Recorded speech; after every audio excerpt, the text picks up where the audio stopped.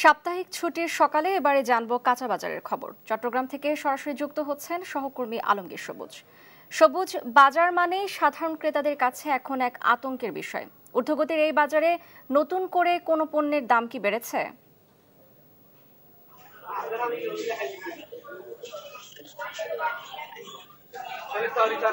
আপনি ঠিকই বলছেন, আসলে সব পণ্যের দামে বাড়তি আমরা প্রতিদিনে দেখছি প্রতিটি পণ্যের দাম যেমন লাফিয়ে বাড়ছে, যেমন আজকের বাজারে আমি যদি একটু করে বলি, যেমন পেঁয়াজের দাম, পেঁয়াজের দামটা বেড়ে এখন পঁয়তাল্লিশ থেকে পঞ্চাশ টাকা করে বিক্রি হচ্ছে চট্টগ্রামের বিভিন্ন বাজারে।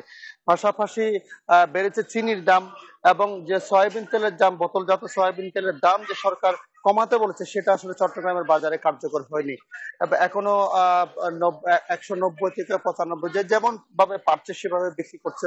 মূলত বাজারে কোনো ধরনের সুষ্ঠু মনিটরিং ব্যবস্থাপনা নেই, এই কারণে এমনটা হচ্ছে। এবং সাধারণ মানুষ বলছেন নিত্য পণ্যের দাম সরকার যেটা কমানোর যে ঘোষণা দিলে সেটা কখনোই আসলে কার্যকর হয় না। কিন্তু বাড়ানোর যদি একটু করে ইঙ্গিত দিলে পরে সেটা হু হু করে বেড়ে যায়, এমনটা সবসময় ছিল এবং এখনও আছে। মানুষ যেন মানুষ এগুলিকে এক ধরনের আসলে সহনীয় পর্যায়ে নিয়ে গেছে। সরকার যেগুলি কমানোর নির্দেশ দিলে সেটা আসলে বাজারে কমান এবং অন্যান্য পণ্যের দিকে যদি আমি বলি আজকে যেহেতু সাপ্তাহিক ছুটি দিন চট্টগ্রামের বাজারে, আজকে আমি এখন আছি চট্টগ্রামের চক বাজারে এখানে প্রচুর পরিমাণ ক্রেতা আছেন সকালবেলা।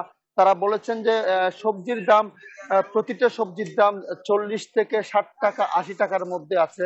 কোনো দাম কমেনি এবং মাছের বাজারে যেন আগুন জ্বলছে, মাছের মাছের সরবরাহ কম, পাশাপাশি দামও বেশি। অন্যান্য সবগুলি পণ্যের দাম আসলে বাড়তি। মুরগি বিক্রি হচ্ছে চট্টগ্রাম ব্রয়লার মুরগি একশো চল্লিশ থেকে পঁয়তাল্লিশ টাকা, গরুর মাংস বিক্রি হচ্ছে আটশো টাকা করে যেটা অন্যান্য জায়গায় আরও কম।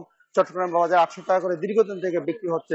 মূলত বলা চলে যে সব ধরনের পণ্যের দাম বেশি এবং সাধারণ মানুষ এত বেশি কষ্ট আছে। নিম্ন নিম্ন মধ্যবিত্ত বটে মধ্যবিত্তর আসলে টানা পড়েনের মধ্যে আছে এবং তারা আশা করছেন সবসময় সেটা যেটা দাবি করছেন সরকারের প্রতি যেন সুষ্ঠু এবং শক্তিশালী বাজার মনিটরিং এর ব্যবস্থা করা হয়।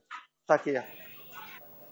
সবুজ আপনাকে ধন্যবাদ। দর্শক চট্টগ্রাম থেকে কাঁচা বাজারের খবরাখবর জানছিলাম। সহকর্মী আলমগীর সবুজের কাছ থেকে। এবারে বন্দর নগরীর পর